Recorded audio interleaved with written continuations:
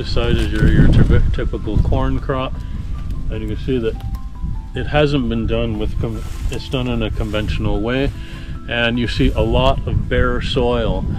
And all that bare soil is moisture moving into the atmosphere and the soil dries out very quickly and so it's not a really healthy conditions for microbiome and because it's going through this till plant till plant you're you're reducing the amount of nutrients in the soil and because you don't have a healthy microbiome down there you're not renewing the nutrients the nutrients aren't being broken down